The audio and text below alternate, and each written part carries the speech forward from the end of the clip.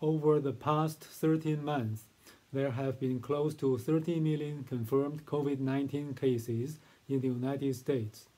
While most patients have recovered and returned to their normal health, some patients continue to have symptoms that last for weeks or even months after their initial COVID infection. In general, if patients still have COVID symptoms four weeks after the infection, they are classified as having post-COVID syndrome. These patients are referred to as long haulers.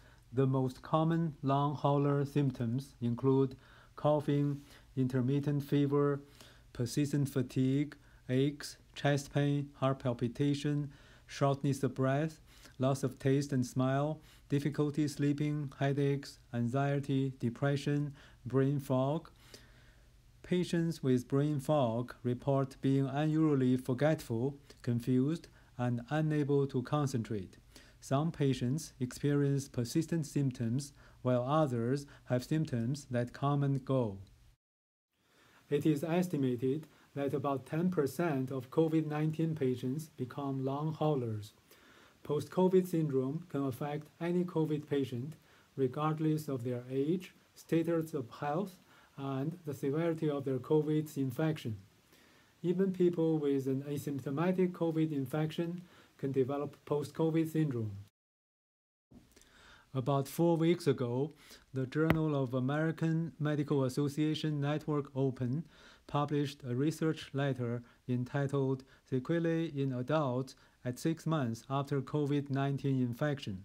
It reported that approximately 30% of patients experienced persistent post COVID symptoms. As shown in the upper table, 177 individuals with COVID 19 were followed up for a median of 169 days after the onset of the disease. The lower table shows that both outpatients and hospitalized patients experienced similar percentages of persistent symptoms. The most common symptoms were fatigue and loss of smell or taste. It is still largely unknown why some patients have persistent COVID symptoms. There are a few hypotheses for the mechanisms of post COVID syndrome. The COVID infection can trigger the immune system to overreact continuously even though the infection has resolved. A European study demonstrated ongoing heart inflammation in 60% of patients who recently recovered from COVID. Some patients with post COVID syndrome generate autoantibodies which attack their own healthy tissues. Some experts believe that COVID 19 can cause dysregulation of the autonomic nervous system. The autonomic nervous system regulates blood pressure, heart rate, breathing, and digestion, and its disruption can cause fatigue, headaches, brain fog, and exercise intolerance. In addition, tiny blood clots can contribute to post COVID syndrome. Many patients have elevated levels of coagulation factors in the blood, which make them more susceptible to blood clotting. The COVID virus can infect and damage the cells lining the blood vessels, which further increases the risk for blood clots. Many organs, such as the heart, the brain, lungs, legs, the liver, and kidneys, have been shown to be damaged by tiny blood vessel clots. Currently, there is no specific treatment for post-COVID syndrome.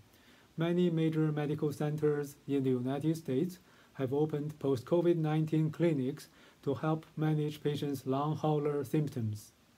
Post-COVID patients are recommended to have adequate hydration, plenty of rest, eat and sleep well, and learn to manage stress effectively.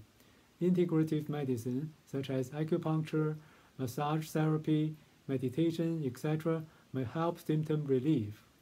In addition, many patients may require symptom-specific medication treatment to improve their quality of life.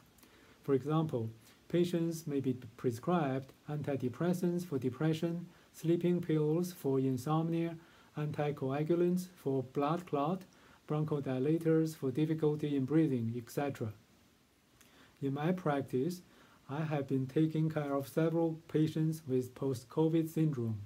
One patient developed a blood clot in his lower leg one month after his COVID infection. He also had significant brain fog and fatigue. The patient was given anticoagulation treatment, and because of his concomitant symptoms of brain fog and fatigue, which raised concerns of tiny blood clots elsewhere in his body, his anticoagulation treatment was extended to three months while he's being closely monitored. The other post COVID patient experienced significant fatigue and shortness of breath. Even walking inside her house caused her to be short winded. Her pulmonary function tests showed that her lung diffusion capacity had decreased by over 50%. The lung diffusion capacity estimates the ability of the lungs to transfer gas from inhaled air into the bloodstream and is used as a surrogate marker of the extent of lung damage. The patient was treated with bronchodilator and prednisone, and her symptoms resolved after one month. Because there are so many unknowns in the area of post-COVID syndrome, many studies have been initiated. Currently, multiple experimental treatments for post-COVID syndrome are being developed in the United States. Last month, the National Institutes of Health announced a funding of $1.15 billion for the investigation of post-COVID syndrome. This table summarizes the interventional studies for post-COVID syndrome. The left column shows the treatment modalities. The right column lists the sponsoring companies. I'm going to briefly discuss each studies in case interested post-COVID patients would like to enroll in the clinical trials. PureTech, a biotherapeutics company, started a clinical 2 trial of LYT-100 for post-COVID respiratory complications and related sequelae. LYT-100 is a chemical with antifibrotic and anti-inflammatory properties. Organicell Regenerative Medicine, a biopharmaceutical company, has developed its proprietary therapeutic called Zofin, which may help treat COVID long haulers. Zofin is derived from perinatal sources and contains over 300 growth factors, cytokines, and chemokines, etc. Cytodyn, a biotech company, is conducting a phase 2 study of Vyrologix on its efficacy and safety in patients experiencing long hauler symptoms.